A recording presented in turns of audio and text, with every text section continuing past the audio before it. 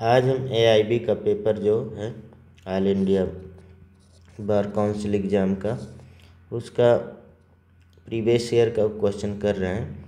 उसमें हम लोग टॉपिक नाइन यानी कि लेबर एंड इंडस्ट्रियल लॉ के बारे में पढ़ेंगे, ठीक है? और इसका प्रीवियस ईयर का क्वेश्चन जो अभी तक आया है तो उसे करेंगे। इसमें देखिए, अगर क्वेश्चन कितना आता है तो number of question four question लगभग जनरली इसमें आते हैं। ऐसा दिया हुआ है, ठीक है? इसमें देखते हैं पहला question the payment of compensation to railway employees by the railway administration for injury by accident is govern by तो ये क्वेश्चन बहुत फ़ेमस क्वेश्चन हमेशा आता है तो इससे गवर्न होगा तो यहाँ पे एम्प्लॉय कंपनसेशन एक्ट से गवर्न होगा। और एम्प्लॉय कंपनसेशन एक्ट 1923 में आया था, ठीक है? तो उसके बाद देखते हैं, दूसरा question a railway servant was killed in a bus accident during the course of employment his family member may claim compensation under तो कैसे कंपनसेशन कर सकते हैं? तो देखिए, उसमें प्रोविज़न है मोटर व्हीकल एक्ट से भी कर सकता है और एम्प्लॉयमेंट क्योंकि उस समय एम्प्लॉयमेंट था और एम्प्लॉय कंपनसेशन एक्ट 1923 के तहत भी कर सकते हैं। क्योंकि रेलवे का एम्प्लॉय है तो उसके तहत भी कर सकते हैं। तो इसमें या तो मतलब कि मोटर व्हीकल एक्ट से या मतलब एम्प्लॉय कंपनसेशन एक्ट किसी एक में से कर सकते दोनों में नहीं करना, एक से कर सकते हैं। उसके बाद third minimum amount of compensation payable under employee compensation act 1923 in case of total permanent disable of the railway servant due to accident अगर होता है तो यहाँ पे देखा जाए, ये कितना रुपये होगा? एक सौ चालीस, एक लाख चालीस हज़ार का कंपनसेशन कर सकता है, ठीक है? इसके बाद देखा जाए next question schedule second of the employment compensation act 1923 deals with यानी कि शेड्यूल सेकंड क्या बोलता है? तो इसमें शेड्यूल सेकंड जो है एम्प्लॉयमेंट कंपनसेशन एक्ट ये करता है list of the person who are include in the definition of the employee यानी कि कौन से पर्सन को मतलब इंक्लूड करना है, उनकी लिस्ट यहाँ पे देता है। Schedule second employment compensation act 1923 उसके बाद देखा जाए teacher is not a workman within the purview of industrial dispute act held in the case of यानी कि a teacher is not workman within the purview of industrial dispute act तो held किस case में ये कहा गया? तो ये केस सब Sundarambal versus government of the Goa, यानी कि Sundarambal versus government, governor of Goa, ये था। उसके बाद देखते हैं according to factory act factory act child means a person who has not complete his fifteen year of age तो factory act में यही दिया है, यानी कि चाइल्ड उसे बोला जाएगा जो पंद्रह साल से ज़्यादा ना हो, यानी कि पंद्रह साल कंप्लीट न किया हो। ठीक है, यानी कि पंद्रह साल से कम हो। ठीक है, उसके बाद यहाँ पे, मेरी illegality of the strike does not per se fail unjustifiability यानी कि just Krishna Iyer name the case यानी कि किस नेम में ये बोला गया? तो ये नेम था Gujarat steel tube versus Gujarat steel tube Mazdoor Sabha. तो ये सी ऑप्शन हो जाएगा इससे रिलेटेड केस इसके बाद workman aggrieved by the order may directly make an application to labour court और tribunal her adjudication of the dispute and the court tribunal is empowered to adjudicate such dispute as it had been referred to its appropriate government तो इसमें कौन हो जाए यानी कि dismissal discharge retrenchment और otherwise termination of the service इसमें है इसमें बी ऑप्शन हो जाएगा उसके बाद सेक्शन टू और सब सेक्शन जे उसी का industrial dispute act 1947 define industry, यानी कि इंडस्ट्री डिफाइन किया गया इंडस्ट्री के। तो यहाँ पे बिज़नेस, ट्रेड, अंडरटेकिंग, सही है। Manufacturing and calling of the employee, सही है। Include any calling service, employee, handicapped. और फोर्थ है इसमें इंडस्ट्रियल ऑक्यूपेशन ऑफ़ वर्कमैन तो इसमें सारे ऑप्शन सही है, ये सारे दिया है सेक्शन टू जे में। ठीक है? तो इसके बाद tenth question ensuring the safety health and welfare of the employee is the primary purpose of the तो ensuring the safety health and welfare of the employee is the primary purpose of तो ये कौन सा primary purpose है? तो आप यहाँ पे फैक्ट्री एक्ट 1948 ये प्राइमरी पर्पज है। उसके बाद देखा जाए in which case supreme court held that teacher are not workman यानी कि टीचर वर्कमैन नहीं है। तो अभी हमने थोड़ी देर पहले इसका चर्चा किया था। तो ये कई बार आया है क्वेश्चन यानी कि किस केस में सुप्रीम कोर्ट ने टीचर को वर्कमैन नहीं माना।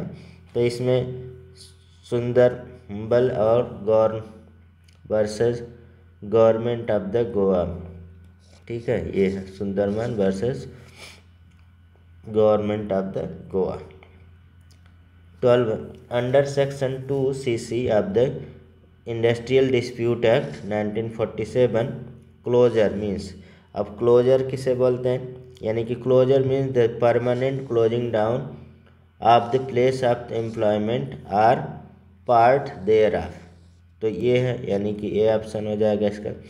उसके बाद देखा जाए thirteen industrial dispute means any dispute or different between तो कौन सा, यानी कि industrial dispute means any dispute difference between जैसे एम्प्लॉय और एम्प्लॉयर में डिफरेंस एम्प्लॉयर वर्कमैन में वर्कमैन और वर्कमैन व्यू ये सब में डिफरेंट यानी कि मास्टर फोर्थ है सॉरी फोर्थ वर्कमैन और वर्कमैन में और मास्टर एंड वर्कर में तो ये सारे हो जाएँगे। सारे तो हाँ लगभग फ़र्स्ट, सेकंड और थर्ड।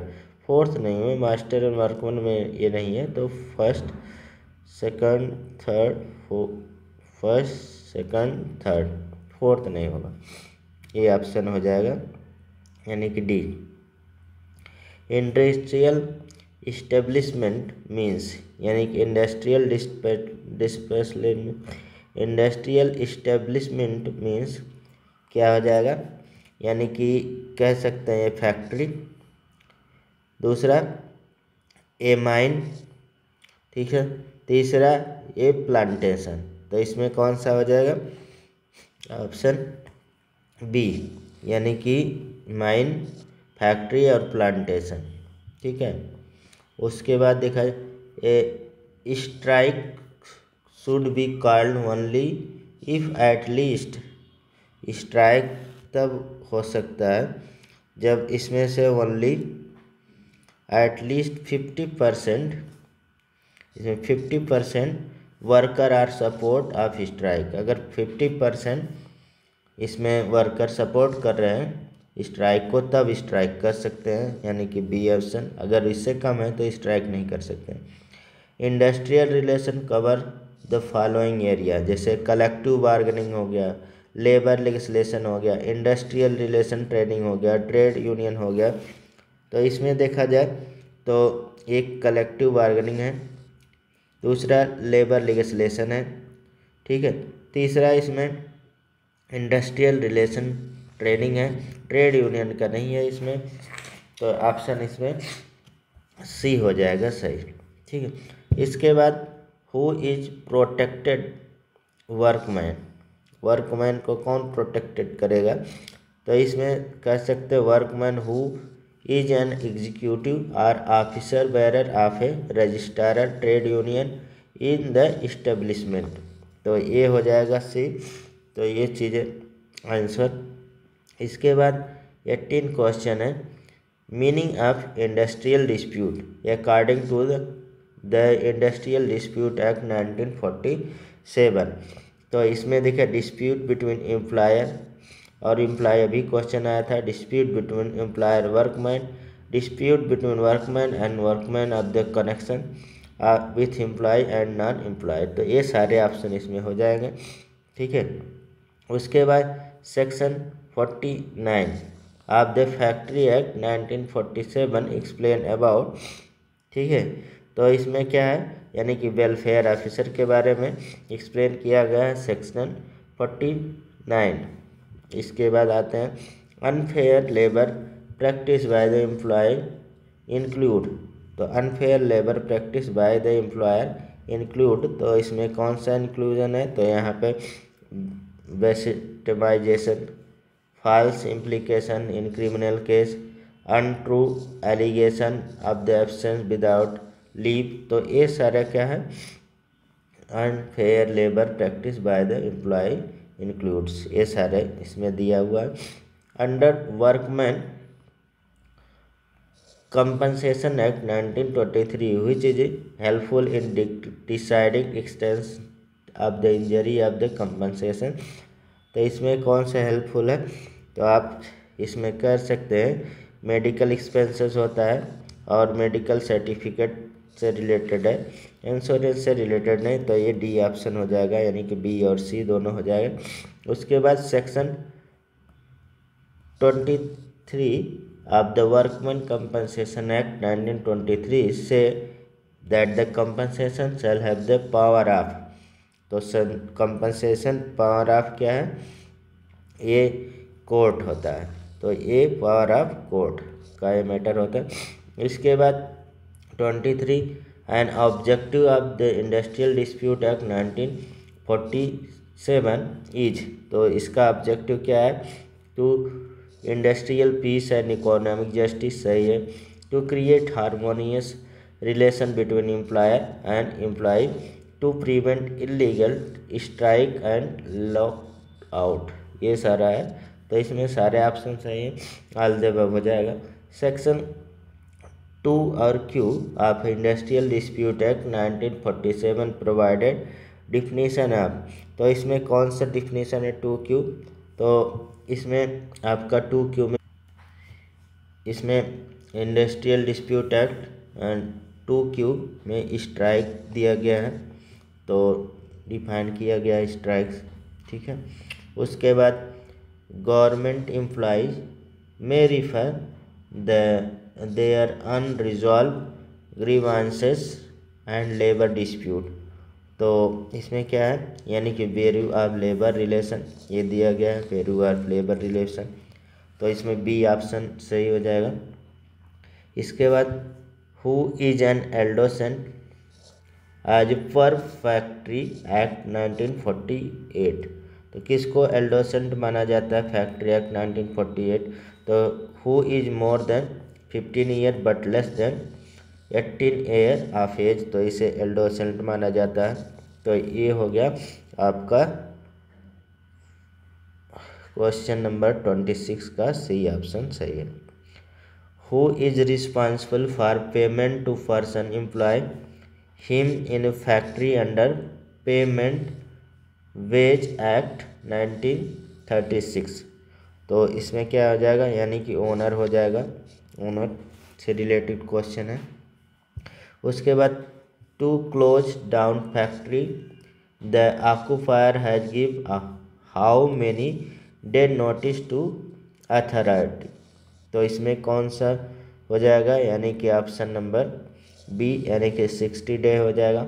इसके बाद twenty nine under the provision of the trade union act nineteen twenty six any person who has attain the age कितना एज तो एट्टीन ईयर में be a member of register trade union subject to any rule of the trade union of the contrary तो इसमें option यानी कि C हो जाएगा eighteen year age उसके बाद the provision of do not reply to trade union registrar under the provision of trade union act 1926 तो इसमें कौन हो जाएगा? कोऑपरेटिव सोसाइटी एक्ट 1920 ट्वेल्व और कंपनी एक्ट 1956 तो दोनों हो जाएगा। ठीक, इसके बाद देखते हैं next question which of the following can be consider retrenchment under provision of the industrial dispute act 1947 तो रीट्रेंचमेंट कौन है? यानी कि इसमें कोई नहीं टर्मिनल डू इल हेल्थ ये भी नहीं है adopted abandonment of the job ये भी नहीं है टीमिंग रीचिंग ये भी नहीं है तो इसमें नन ऑफ़ द आंसर हो जाएगा। इसके बाद thirty two which of the following statement hold true regarding imprisonment under provision of the section यानी कि fourteen third of the child labour यानी कि prohibition regulation act nineteen eighty six तो nineteen eighty six का जो, यानी कि child labour prohibition and regulation act nineteen eighty six का है। तो इसमें देखा जाए तो आंसर थर्टी टू में it may be extend one month हो सकता है। ठीक है तो ये आंसर है। उसके बाद under the provision of the industrial dispute act 1947 appropriate government can by order is writing तो इसमें अगर देखा जाए, the refer to dispute to a board are promoting a certain settlement of the dispute. तो ये तो होगा ही। ठीक। Refer any matter appearing to relevant to dispute a court for inquiry A भी है तो इसमें दोनों ऑप्शन है, ए और बी दोनों सही हो जाएगा। Which of the following statement true for loss of confidence by management in the workman तो इसमें कौन सा, यानी कि which following statement true for loss of confidence by management in the workman तो इवन when डिसमिसल और discharge held to the wrongful the court may not yet order a reinstallment of if the employer is able to establish that the workman held position of trust and there was loss of confidence तो ये यानी कि दूसरा loss of confidence में also be ground for discharge simplicity of the workman तो ये हो जाएगा ये भी इसके बाद mere illegality of the strike does not per se spell अनजस्टिफेबिलिटी तो इसमें कृष्णा आयरन, उनके सब डिक्लियर सो तो केस हो जाएगा, यानी कि अभी थोड़ी देर पहले आया था, एक Gujarat steel tube versus Gujarat steel tube Mazdoor Sabha, इससे रिलेटेड है। तो ये दो बार पूछा गया होगा, इसलिए दो बार आ गया इसमें। Pick out the case that is popularly called as solicitor case तो सोलिसिटर केस किसे बोला जाता है? तो ये केस था national union of commercial employees versus industrial tribunal Bombay तो इसी को सोलिसिटर केस बोला जाता है। ठीक है? उसके बाद thirty seven identify the case that is related to need promotion and preservation of internal democracy within trade union तो इस केस में, यानी कि Hanumanta Rao versus deputy registrar of trade union इससे रिलेटेड है, ठीक है? तो थर्टी सेवन इसके बाद राष्ट्रीय सम, Swasthya Bima Yojana, in mainly mean to serve the need of क्या नीड, यानी कि कह सकते हैं unrecognise sector worker belong to P यानी कि below property level category and their family member तो ये सी हो जाएगा।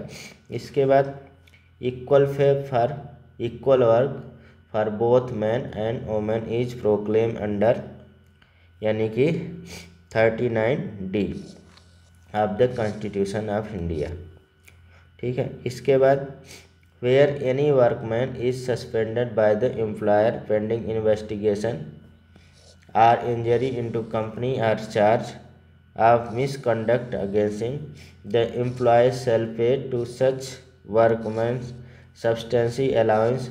This provision was inserted in the industrial employment यानी कि standing order act 1946 in which year तो इसमें कौन से ईयर है यानी कि नाइनटीन नाइनटीन एट्टी टू, ये हो जाएगा उन्नीस सौ बयासी का ईयर है। इसके बाद हु आज, यहाँ पे फिलिंग द ब्लैंक करना है मतलब ये किससे रिलेटेड है तो यहाँ पे हम बता दें आंसर हो जाएगा, ये यानी कि bank of India versus T S Kelawala and organisation was a leading case on the point as to whether employ has a right to deduct wage on unilaterally and without holding an inquiry for period of employee. Go on strike and resort to go slow तो ये हो जाएगा, यानी कि option A bank of India versus T S Kelawala इसके बाद forty two under under industrial dispute act if the employer terminate the service of an individual workman any dispute difference arising out of such terminal shall be deemed to be तो इसमें कौन सा यानी कि forty two यानी कि industrial dispute हो जाएगा ये हो जाएगा आंसर इसके बाद फोर्टी थ्री द संपूर्ण ग्राम रोज़गार योजना Sampoorna Grameen Rozgar Yojana universal programme was launch in two thousand one and his employment through तो ये किसके थ्रू हो जाएगा? अंडर अगर रोज़गार योजना तो ये देखिए पंचायती राज इंस्टीट्यूट के थ्रू होता है तो इसमें सी आंसर हो जाएगा। उसके बाद provision under industrial dispute act 1947 which guarantee the right of workman lay off to claim and compensation तो ये 44 यानी कि सेक्शन यहाँ पे क्या हो जाएगा? 25 सी तो ये आंसर हो जाएगा। इसके बाद number of person require for trade union ये कई बार क्वेश्चन पूछा गया है। तो इसमें सेवन मेंबर होना चाहिए ट्रेड यूनियन में। उसके बाद the temporary closing of the work place or suspension of the work at work place by employer is known है तो इसे हम लोग क्या बोलते हैं? लॉक आउट कहते हैं। लॉक आउट बोला जाता है। इसके बाद which of the following act has direct relevance for grievances handling practice तो इसमें कौन सा हो जाएगा? फोर्टी सेवन यानी कि the industrial dispute act factory act industrial employment in trending act ये सब। यानी कि ऑल द अबव इसमें आंसर हो जाए। इसके बाद सेक्शन टेन ए से क्वेश्चन पूछा गया इंडस्ट्रियल डिस्प्यूट एक्ट ठीक है? अब सेक्शन टेन ए क्या डिफाइन करता है? Voluntary reference of dispute to arbitration तो ये डिफाइन करेगा। इसके बाद देखा जाए तो wage under workman compensation act तो यानी कि इंक्लूड एनी प्रेवलेंस यानी कि benefit which is capable of being estimated in money तो यही आंसर हो जाएगा इसमें। इसके बाद contravention of the contract labour act would not created employment relationship between contract labour and principal establishment it was so held in which case तो ये किस केस से रिलेटेड है? यानी कि यानी कि SAIL versus national union water front worker से रिलेटेड है। तो ये ऑप्शन हो जाएगा ए ऑप्शन उसके बाद यहाँ पे fifty one the principal regulator यानी कि invested under the trade of union act nineteen twenty six तो ये देखा जाए तो रजिस्ट्रार आफ्टर ट्रेड यूनियन से रिलेटेड है, ये सी हो जाएगा, ठीक. इसके बाद fifty two इटरीचर is not workman falling under the category of workman under industrial dispute act 1947 this was held in which case तो बहुत फ़ेमस केस थे अभी थोड़ी देर। यानी कि इसमें Miss Sundarambal versus government of Goa यानी कि दमन अंदीव ये सा केस रिलेटेड इसके बाद देखा जाए fifty three the type of disablement invested under the employees यानी compensation act that reduce the capacity to work any employment similar to that worker was performing at the time of accident in refer to as तो उसे क्या बोला जाता है? यानी कि fifty three में परमानेंट पार्शियल डिसेबल बोला जाता है। परमानेंट पार्शियल डिसेबल तो उसे ऑप्शन फ़र्स्ट हो जाएगा। यानी कि contribution payable under the E S I act ठीक है? तो respect to employees self company तो ये किससे related country contribution of payable by employer and employ तो इसमें contribution payable by employer and employ से रिलेटेड है। इसके बाद देखें which provision under the industrial dispute act 1947 guaranteed the right of workman laid off to claim for compensation तो किस provision में दिया गया है? तो अभी थोड़ी देर बाद आया था, यानी कि सेक्शन ट्वेंटी फाइव सी में दिया गया है। इसके बाद term lockout under industrial dispute act define तो लॉकआउट डिफाइन किया गया सेक्शन टू में और सब सेक्शन आई में। ठीक है लॉकआउट डिफाइन किया गया इसके बाद term lay off define under industrial dispute act किसमें डिफाइन किया है? यानी सेक्शन टू ट्रिपल के में लेआउट डिफाइन किया गया है, ठीक है। उसके बाद ट्रेड यूनियन एक्ट इनेक्ट कब ट्रेड यूनियन उन्नीस सौ छब्बीस का है। Trade union term minimum wage minimum wage has been describe यानी कि मिनिमम वेज का यानी कि सी मिनिमम वेज एक्ट ये डिफाइन किया गया है मिनिमम वेज एक्ट ठीक है? उसके बाद the minimum wage act was enacted तो minimum wage act was enacted कब हुआ था? तो आप बता सकते हैं इसमें सिक्सटी का। मिनिमम वेज एक्ट अभी nineteen twenty six minimum wage act enacted define कब किया गया है? तो आप बता सकते हैं मिनिमम वेज एक्ट जैसे has been describe minimum wage act और minimum wage act nineteen forty eight का है। तो इसमें भी हमारे पास हो जाएगा क्वेश्चन का आंसर मिनिमम एज 1948 तो इसमें नहीं दिया है कोई मिनिमम बेज एक्ट तो इसमें ऑप्शन थोड़ा सा 1948 में आया था। तो ये देख लीजिएगा। The trade union act provided for तो यानी कि registration of the trade union सही है। Registration of trade union for workers सही है। Registration of of registration trade union and juristic person तो ये भी सही है तो ऑल द अबव हो जाएगा। तो ये रहा लेबर एंड इंडस्ट्रियल लॉ से रिलेटेड कुछ क्वेश्चन जो पहले ऑल इंडिया बार एग्ज़ाम में आया हुआ है। तो यहाँ तक रहेगा। हम लोग नेक्स्ट टॉपिक करेंगे। Thank you thank you